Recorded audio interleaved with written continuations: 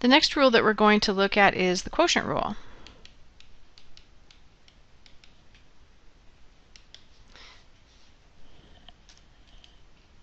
Your, text, your textbook offers you a very nice version of the quotient rule. The important thing to remember with the quotient rule is what's in your numerator and what's in your denominator. In this particular case, f is your numerator and g is your denominator. So the derivative of the quotient f divided by g is equal to, and again there's a lot of different ways to remember this, but I remember this as the bottom times the derivative of the top minus the top times the derivative of the bottom all over the bottom squared. And again, there are a lot of different ways to remember this, and it doesn't matter to me which way you use, as long as, of course, you can remember them and you get correct answers. So if you have learned this a little bit different way before, that's okay. You can still use the quotient rule however you learned it. What's important to me is you know how to use the quotient rule and you can do some examples and show all of your work. So for this first example, let's go ahead and take the derivative with respect to x of x squared over x minus 1. Now when we have a particular case like this, the bottom and the top cannot be simplified, so I have to use the quotient rule here. Now eventually I could flip this denominator up top and I could use a product chain rule, but we don't know the chain rule quite yet, so right now we'll stick with the quotient rule. So let's go ahead and run through what the quotient rule looks like. The quotient rule starts with the bottom function times the derivative of the top function minus the top function times the derivative of the bottom function all over the bottom function squared.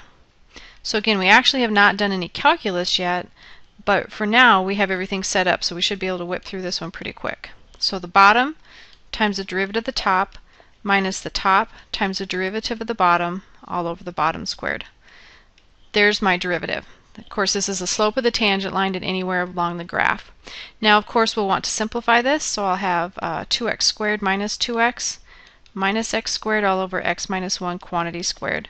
There's no reason to expand this denominator because I want things to cancel and simplify. And if I, if I expand this denominator, it'll be harder to see what some of those cancellations could be. So if I go ahead and factor, or sorry, I combine some like terms, I have x squared minus 2x all over x minus 1 quantity squared. And I could factor out an x, although it's not going to do me a lot of good in this particular case. But there's my derivative. This is equal to f prime of x or y prime, however you want to denote that. And again, simplifying completely is a good practice with your algebra. Let's go ahead and look at another example. In this example, let's take the derivative with respect to x of pi squared times the quantity x minus 1. Now when we're looking at this one, we need to note a couple of important things. First of all, if I look at this denominator, it says to take the derivative with respect to the variable of x. Everything else is considered constant. And of course we already know that pi is a constant, but just in case this throws you, I just drag that pi squared along. So I have one of two ways that I can work this problem. If I want to just go ahead and distribute this, that would probably be the easiest way. I'd have pi squared times x minus pi squared times 1. And then my derivative here would just be pi squared. The derivative of pi squared is 0 over here. Or I could actually use a product rule on this.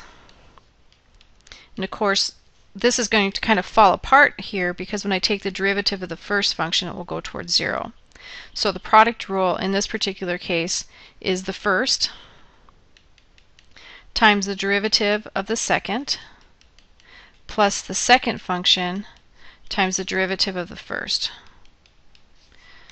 Okay, so rewriting here, dragging along the pi squared, the derivative of x minus 1 is 1. Dragging along the x minus 1, the derivative of a constant is 0. So you can see this whole term goes towards 0 and I'm just left with pi squared. So these match. So a lot of times you can rewrite into a simpler form before you use the product or the quotient rule. Let's go ahead and look at some other examples as well. In this particular example, Let's go ahead and look at the derivative with respect to x of ax plus b times abx squared plus 1. Now we have a lot of values running around here. What's constant and what is variable? Well, if we look at this, only the x is constant. Everything else is treated as a variable. So when we write this out in terms of our product rule, I have the first function times the derivative of the second function and again we're just writing out what our rules is, rules are, plus the second function times the derivative of the first function. Now working through this, we're going to start seeing the effect of these constants running around. Now, x is my only variable, a, b are considered constant. So on this next one, when I take my derivative of abx squared plus 1, I bring the 2 out front, I decrease the exponent by 1, 2 minus 1 is 1, the derivative of 1 is 0, plus the second function, times the derivative of the first function. The derivative of ax plus b, a is a constant. The derivative of ax to the first then is just a. The derivative of b is 0. So this is my derivative. And of course this could be simplified quite a bit as well.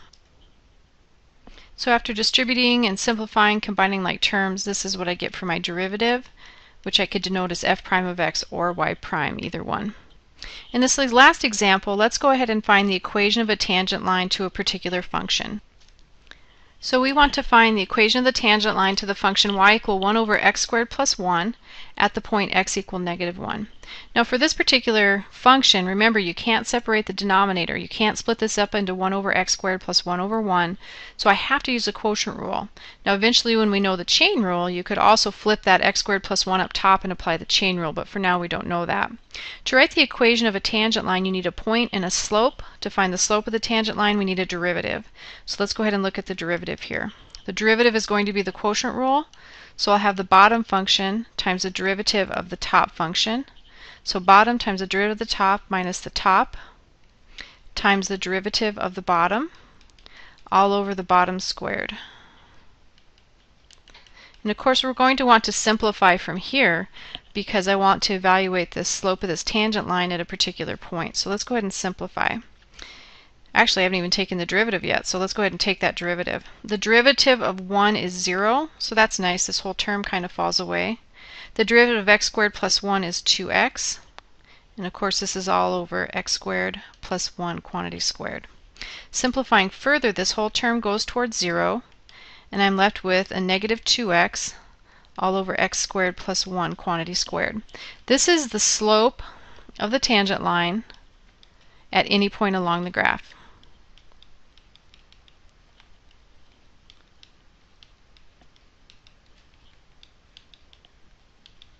But we want to know the slope of the tangent line at a particular point. So let's go ahead and take this and evaluate it. So we call this y prime. So let's go ahead and figure out what y prime of negative 1 is equal to. That means everywhere there's an x, we plug in a negative 1. Now be careful down here because I'm squaring the negative. And if we have a negative times a negative, I get a positive 2 in the numerator. In the denominator, I have a negative 1 quantity squared, which is 1. 1 plus 1 is 2. 2 squared is 4. So 1 half is my slope of my tangent line at negative 1. So in order to write my equation, I need two pieces of information. I need my slope, which I just figured out was 1 half, and I need a point. Well, I know my x value is negative 1 because that was given to me. In order to find the y value, I need to run back up here real quick. So in order to figure out my y value, y is equal to 1 over negative 1 quantity squared plus 1, which is going to be 1 half. So 1 1 half. Then I put this in the point slope form of the equation, y minus y1 is equal to m times the quantity x minus x1, and plug in my values. So I have y minus 1 half is equal to 1 half, which is my slope, x minus a negative 1. And then simplifying, we have 1 half x minus a negative is the same as a positive 1 half. And then I'll move this negative 1 half across, and I have y equal 1 half x plus 1. This is the equation of the tangent line.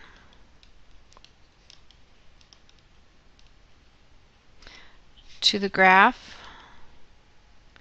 of y equal 1 over x squared plus 1 at the point x equal negative 1.